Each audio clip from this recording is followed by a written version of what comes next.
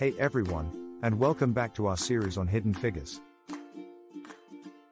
In this episode, we will be summarizing chapter 15 of the book, titled Young, Gifted, and Black. As we know, Hidden Figures is a true story that tells the tale of African American women who worked as mathematicians and engineers at NASA during the space race in the 1960s. In this chapter, we learn about the emergence of a new group of young and talented black professionals who were determined to make their mark at NASA. The chapter begins by introducing us to a young woman named Miriam Matt. Miriam was a brilliant mathematician who graduated from high school at the young age of 16. She went on to attend Fisk University, a historically black college, where she excelled in mathematics and earned her degree. After graduation, she applied for a job at NASA and was eventually hired as a computer. A person who performed complex calculations manually.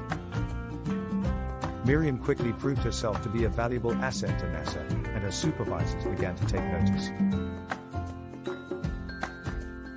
She was eventually promoted to a position in the Guidance and Control Division, where she worked on important projects such as the Lunar Orbiter and the Apollo missions. Miriam's success at NASA inspired other young black professionals to pursue careers in science and engineering.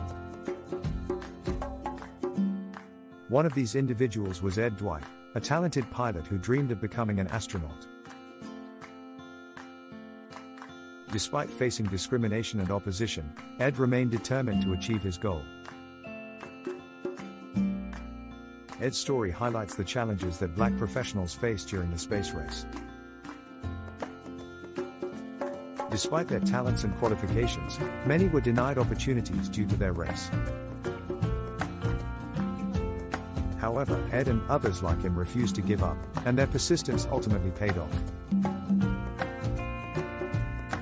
The chapter also explores the efforts of civil rights organizations such as the NAACP to address issues of discrimination at NASA. These organizations work tirelessly to raise awareness of the injustices faced by black professionals and to advocate for change. As the chapter concludes, we see the emergence of a new generation of young, gifted, and black professionals